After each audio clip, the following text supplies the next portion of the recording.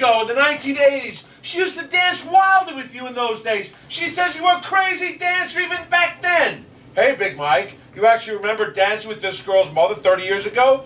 Truthfully, I was totally wasted on liquor, drugs, and methamphetamines every single day of my entire life during the entire decade of the 80s, all of the 70s, as well as a major portion of the 90s. It was all one big blur. I'm lucky I remember what city I lived in.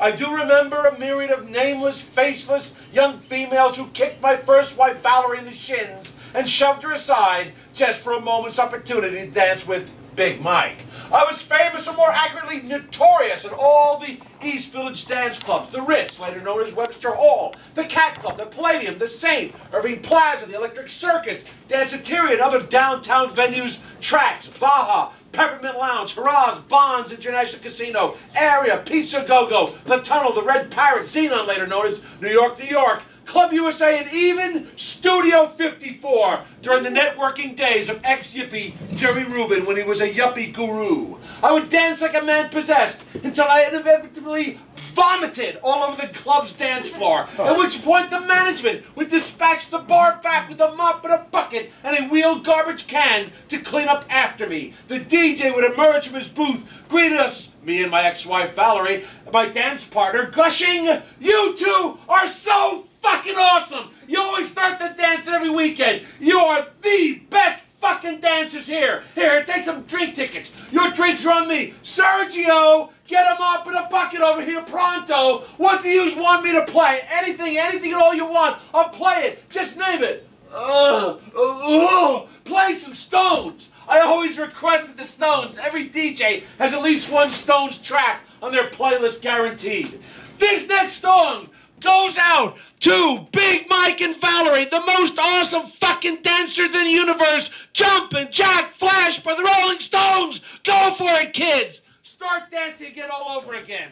After some time, whenever the doorman spotted me and my wife showing up behind the velvet ropes, the management would assign a bar back to follow us around the dance floor with bucket and mop in hand, anticipating the nightly vomiting performance, and also assign the biggest, fattest, meanest bouncer on duty as an escort, whose sole job was to clear a private dance space on the crowded dance floor for our exclusive use only by flinging the other club patrons into the walls and picking them up and hurling them across the dance floor if they accidentally strayed too close to our circle of friends. Hey, Big Mike, you were uh, drunk and high all the time. Does that mean that you were liquored up and drugged while on duty as a registered nurse on the women's gynecological ward at St. Luke's Hospital? Drunk, boys and girls? Stoned, boys and girls? Of course not, kids. I was the consummate professional in those days. I did store my six packs of Corona in the blood bank next to the units ready for transfusing just to ensure that my precious beers were maintained at a optimal cool temperature of precisely 38 degrees Fahrenheit for maximal consumption enjoyment after work. I did come into work suffering Olympic-sized hangovers, sleeping them off in the patients' bathtubs of unoccupied hospital rooms and vomiting in their shower stalls.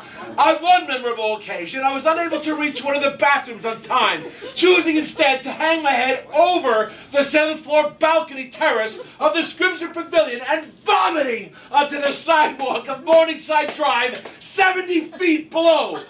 Unfortunately, I failed to check the area directly under the terrace beforehand, and as it turned out, some poor, unfortunate homeless vagabond had pitched his encampment beneath that very overhang, and he received a faceful of steaming, hot, rancid vomit for his troubles when he gazed skyward to determine what species of strange winged migratory bird kept calling Earl, Earl, Earl, Earl from the heavens above. What the hell, Earl? Oh shit! Some motherfucker just threw a ball over me! Hey, white man, if I ever sees you on the street, I'm gonna cut your white ass! At which point, I proceeded to vomit the other half of my stomach contents. Two 40 dogs of Colt 45 malt liquor and a half a pastrami sandwich upon the ungrateful little ragamuffins lice-infested head. And when he continued to shake his filthy little vomit-encrusted fist up at me in rage, he received yet the third helping of fresh vomit on his grimy, sunken, grizzled mug, this time containing merely my stomach bile, my gallbladder, and half my remaining disease-related cirrhotic fatty liver for his troubles.